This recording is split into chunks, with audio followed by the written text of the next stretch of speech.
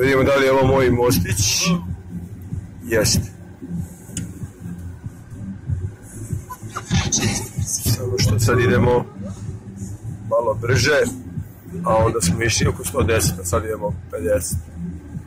Moj mostić 5 godina kasnije.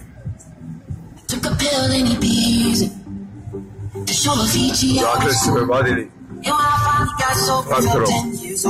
And I'm living out in LA.